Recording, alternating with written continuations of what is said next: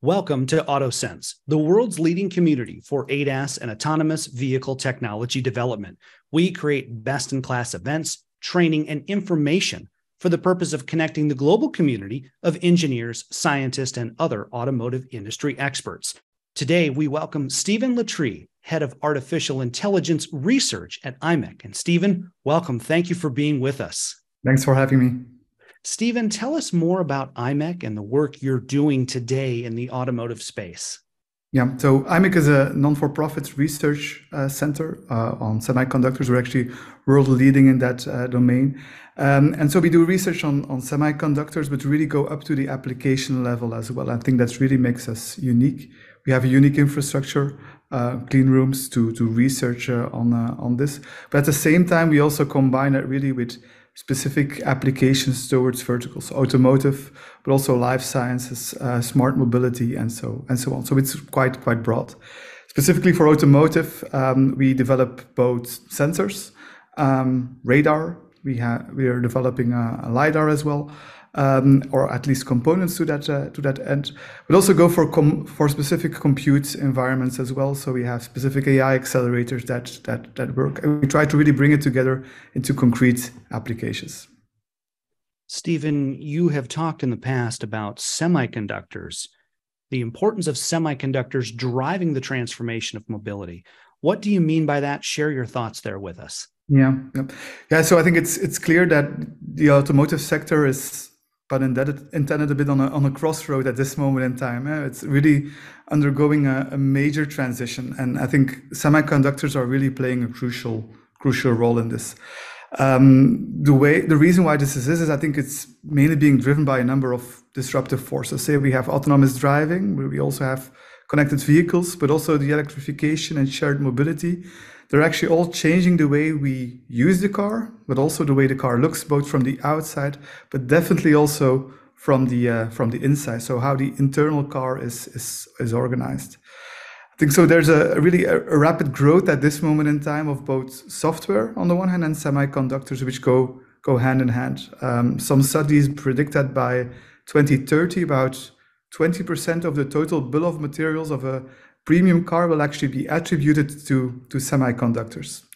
So if you see these, these disruptors, I think it's clear that the car is more and more being rethought as a kind of software defined vehicle and not just anymore as a as a mechanical uh, piece of equipment anymore. Um, so I think the the car of the future is really evolving towards a high performance computer on on on wheels, and um, traditionally we've been mainly um, tackling this uh, high performance computer on wheels uh, with, with general purpose uh, chipsets. But I think if we really want to reach those higher levels of, of automation, next level ADAS, but also just uh, SAE level four or five, um, I think we need to uh, bring the cost um, down and the scale up for these uh, for these chipsets. So I think we need to depart a bit from traditional um, uh, compute architectures to really domain specific chipsets, domain specific architectures, specifically for the automotive uh, uh, industry as uh, as well. So I think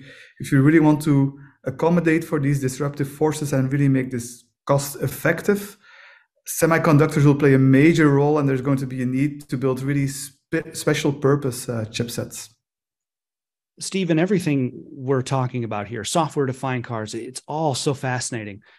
Why do you see it as important, or why is it critical, rather, that the complete automotive ecosystem join together then?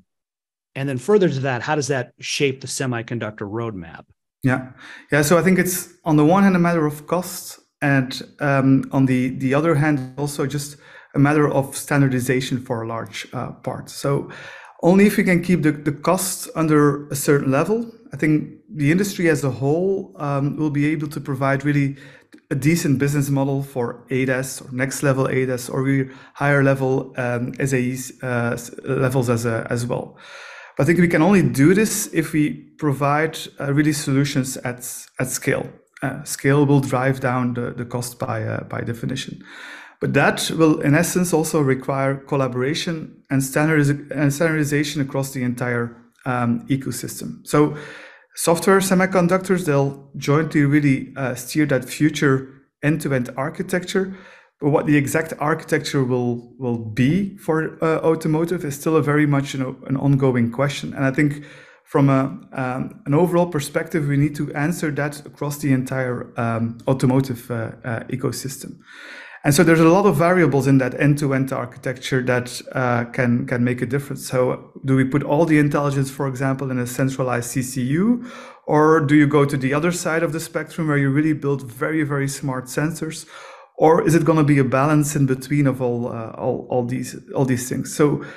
I think same thing can be asked also in terms of sensor modalities. Do we only go for camera? Do we go for camera, radar, lidar? Uh, so all these different questions pop um, up, and we see different approaches right now at different cost levels across the uh, the ecosystem.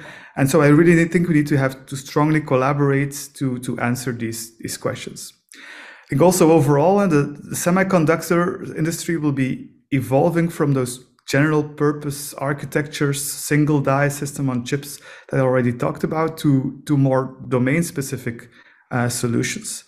Um, and also there, I think so. Um, in the semiconductor industry, there's a lot of uh, uh, work right now on on chiplet architectures. Chiplet architectures allow you to build more um, heterogeneous components and modular comp- components on a system on a chip, and it allows you to make the the right chiplet or make sure that the right chiplet executes the right type of workload, which often will be driven by by AI. But again, standardization and collaboration is going to be key to ensure that all these different modular components across the ecosystem will actually be able to, to work to, together. So it's really a joint story of uh, collaboration to enable standardization as well. When it comes to everything you've just said, Steven, and this next question may be a, a little unfair because there's still so many questions as to, you know, how do we go, how do we sort everything? How does we go forward? But you know, with standardization in mind, with collaboration in mind, where do you see the industry going, say, in the next decade? Yeah. Yeah, so I think that that notion of a, a software-defined vehicle is really key for me. Uh, so the last decades, the automotive industry has partly also due to electrification really changed or innovated on on that. But I think the next decade, and I'm probably a bit biased since I'm working on, on AI, I think it's really going to be the, the, the domain of AI and sensing. I think AI and sensing will play a major role in, in the car of the of the future, even more than it does right uh, right now. But it also comes with its challenges. Uh, from an application side, uh, we see that higher level of automation still requires more and more uh, TOPS, so uh, operations per uh, per second. Um, the machine learning world at this moment in time is talking about bigger and bigger uh, neural network uh, models. Everything that relates to uh, generative AI, for example, shows that we, we are able to get really good AI capabilities from a sensing and a control, but it comes at the cost of building huge machine learning models. Um, but of course, in order to, to accommodate with these huge machine learning models, we need to get them still on the car its itself as a, as well, and that is really going to be um, the, the, the challenge. We need to get huge AI models on a mobile unit with a uh, with a uh, limited power budget as um, as well. And I think that will really transform the car of the future from focus on mechanics to a software defined vehicle um, first. Steven, you're headed here uh, to the Motor City for AutoSens Detroit. Uh, what are some of the highlights uh, of the event for you? What will you be uh, showing and talking about for attendees? Yeah, so um, I think I hope we can show that um, at IMEC we really have uh, that full stack innovation. So we really go from uh, specific um, um new type of packaging uh, technologies to um, to specific sensing such as on-chip uh, lidar um, but we also have quite some uh, solutions for for example to do in-cabin health sensing as a um, as well. And we couple that with um, AI with chip technologies with compute systems as um, as well. And we also have the, we also have the advantage for partners to uh, do ASIC prototyping and really do production at volume as, as well. So really a wide range of, of things that we are active in in the, uh, in the automotive industry. Um, I think we're pretty unique in that full stack um, approach, and we hope that this um, this new uh, um, innovations from silicon up to the packaging, up to the software actually uh, is really uh, appreciated at, at AutoSens. It's all very exciting, Steven. From all of us here at AutoSens, want to thank you for your time, sharing your expertise and your thought leadership with us. Of course, we look forward to seeing you in Detroit and getting caught up with you there. Uh, but in the meantime, thank you for being with us today, Steven. Thanks a lot. Bye. For more in depth interviews like this, subscribe to our YouTube channel and follow AutoSens on LinkedIn. For more information on our world class events, visit auto sense.com. That's auto sense.com. In Detroit, on behalf of AutoSens, I'm Carl Anthony.